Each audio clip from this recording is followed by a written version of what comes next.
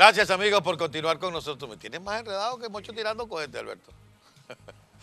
amigos, continuamos en la mañana más informativa de la televisión, la mañana de EBTV. Y les hablaba hace un rato del tema del negocio en el que han convertido el paso fronterizo. Para hablarnos de esto con mucho más detalle y con muy buena información, tenemos en el Skype al concejal Tomás Dángel, él es concejal en el Estado de y vamos a conversar porque ha estado haciendo trabajos de investigación y de, y de documentación de lo que está ocurriendo. Ya lo tienen ustedes en pantalla de EBTV y es muy grato darle la bienvenida y los buenos días. Gracias Tomás por estar con nosotros. Carlos, buenos días, ¿cómo estás? Un placer saludarte. Comentaba con la audiencia antes de hacer contacto contigo un poco a rasgos generales cómo es el tema de lo que se ha convertido el negocio para algunos eh, el paso fronterizo. Pero tú que has hecho este trabajo de investigación y de documentación al respecto, me gustaría que lo detallaras. Sí, bueno Carlos, tú estuviste muy bien aquí en las fronteras y pudiste ver cómo es, pero luego del 23 los puentes quedaron cerrados, los puentes quedaron con unos containers atravesados y esos containers atravesados, por mucho esfuerzo que se ha hecho, el gobierno no ha querido retirarlos y no ha querido retirarlos para que por esos puentes no pase nadie. Y mientras por esos puentes no están pasando nadie, Nicolás Maduro le ha abierto el más gigante negocio a los grupos parapolicíacos, paramilitares y colectivos a través del manejo de las trochas. Hoy los grupos colectivos son como una parte de CENIAT porque revisan a las personas cuando entran a Venezuela y les ven qué es lo que compraron, qué es lo que no compraron. Pero esos grupos colectivos, y aquí es donde es lo más importante que tenemos que ver todos, le están cobrando 5 mil pesos a cada venezolano que pasa por esa frontera. Yo mismo personalmente estando en la frontera, conté el flujo de personas que pasan por el puente Simón Bolívar y por allí pasaban más de, más de 130 personas por minuto, lo que nos daba un conteo a nosotros que diariamente estos grupos colectivos para policíacos y paramilitares están haciendo más de 120 mil dólares diarios. Es decir, perdón, perdón, perdón, déjame interrumpirte un momentico, Tomás, en esa cuenta. 120 mil dólares por día 120 mil dólares diarios. Es que la cuenta matemática es simple. Si nosotros multiplicamos 5 mil pesos por 130 personas que están pasando por minuto y esta trocha funciona, Carlos, entre 10 y 12 horas y nosotros lo multiplicamos por 10 horas, nosotros estamos viendo cómo esta cuenta nos da a nosotros más de 120 mil dólares diarios. Y aquí, Carlos, y aquí a todos los venezolanos que nos ven, no estoy contabilizando las vacunas que le cobran a todas esas personas en los videos que vimos correr esta semana y que estoy posteando a través de mis redes sociales, vemos cómo personas ayudan a cargar lo que compran los venezolanos que regresan a Venezuela y a esas personas le cobran vacunas. En los videos que estoy posteando a través de mis redes sociales también he mostrado los puentes que hay para pasar ese río y esos puentes los hacen personas con piedras o con materiales que consiguen y también cobran.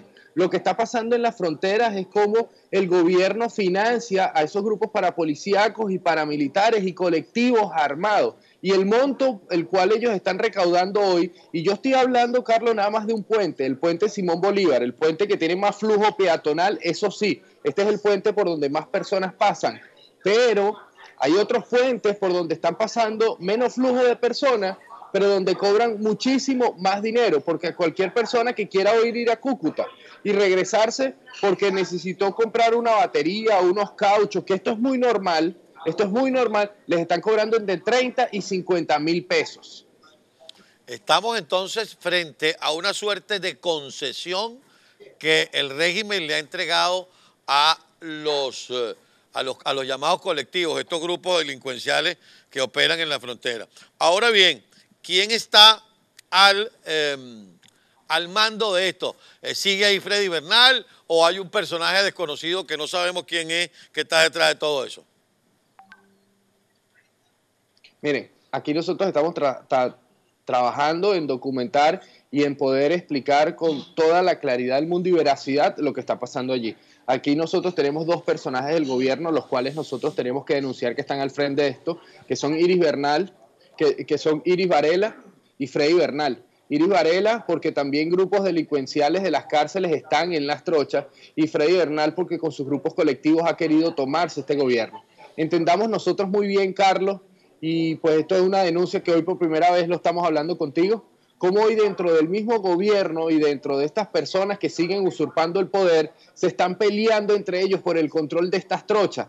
Iris, Varela y Freddy Bernal hoy están peleando con cada uno con sus grupos para poder tener el control de estas trochas. Es un negocio millonario, es que es un negocio que deja más de 120 mil dólares diarios, pero más de 4 millones de dólares líquidos al mes. Líquidos. Esto lo paga todo el mundo en efectivo. Entonces nosotros allí tenemos como en toda Venezuela, el, eh, Nicolás Maduro le ha entregado concesiones a grupos parapolicíacos, militares y colectivos y le ha entregado esas concesiones para que ellos hagan dinero y lo puedan defender y mantener en el régimen. ¿En dónde? En las cárceles. Hoy las cárceles son tierra de nadie. En las fronteras, hoy las fronteras son tierras de nadie. En el narcotráfico. Ahora bien, estamos hablando del puente internacional Simón Bolívar, me dices que en los otros puentes, vale decir, en el Francisco Paula Santander y en el puente. ¿De cuántas trochas estamos hablando, Tomás? Mira, yo te voy a hacer llegar para que tú tengas también unos videos donde, yo, donde sobrevolamos toda la frontera con unos drones, esto con la ayuda de Defensa Civil Colombia, y te puedo mostrar cómo nosotros contabilizamos más de 60 trochas activas, de 60 trochas activas que mientras nosotros sobrevolábamos la frontera pudimos ver personas caminando. Pero estas son las trochas que nosotros vemos. ¿Cuántas son las trochas que nosotros no podemos ver? Entendamos nosotros esto, y tú lo pudiste ver como una gran extensión de terreno, donde si tú bloqueas esta trocha, se te meten por otra. Y nosotros hoy estamos denunciando la trocha más visible y la trocha, la trocha que cualquier venezolano que haya salido de Venezuela a través de... Te interrumpo en esta parte, te interrumpo en esta parte, Tom, Tomás. O sea, lo que pudiera estar pasando es que un venezolano normal, de a pie, que por razones de necesidad tiene que ir a Cúcuta a hacer una compra, va y puede comprar, digo yo, el mercado de su casa, regresa, paga 5 mil pesos para poder entrar nuevamente a Venezuela y llega. Pero pudiera estar pasando en las que no vemos narcotráfico, armas, cualquier cantidad de mercancía ilegal.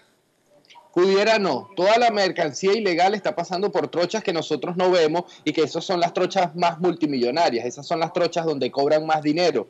Yo hoy estoy denunciando para que nosotros veamos la complejidad del problema. La trocha más evidente, la trocha por donde está pasando todo el mundo, donde el venezolano de a pie va. Y veamos cómo es el ejemplo de esto. Claro, un venezolano sale de San Antonio, viene a Cúcuta a hacer mercado, que es lo más frecuente, a conseguir medicamentos y alimentos que no consiguen dentro de Venezuela viene hacia Cúcuta, hace mercado, compra las medicinas y se regresa. Cuando salió, tuvo que pagar 5 mil pesos. Si el mercado fue muy grande y era una persona mayor, como las vemos a diarios todos los días, una mujer venezolana aguerrida buscando medicamentos y alimentos, le tiene que pagar a alguien 2 mil o 3 mil pesos para que lo ayude con su bolsa. Ya nosotros llevamos 5 mil cuando salió de Cúcuta, 2 mil y 3 mil pesos que le tuvo que pagar a una persona para que le ayude. 8 mil, ya van 8 mil son 8 mil, mil, mil o 500 pesos, con lo que tú puedas ayudar a las personas que pasan por el puente, a los cuales tienen a niños y menores allí cobrando.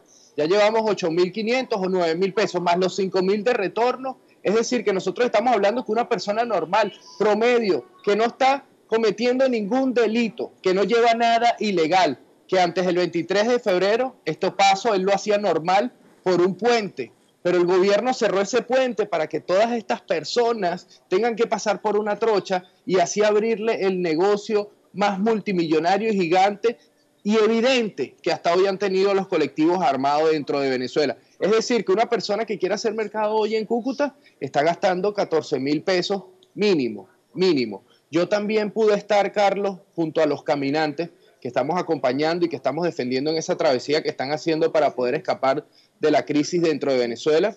Y estos caminantes lo que más me contaban que donde más habían gastado dinero era en pasar las trochas. En las trochas hoy están jugando con el hambre, hoy están jugando con la miseria, pero hoy están jugando con la necesidad del venezolano.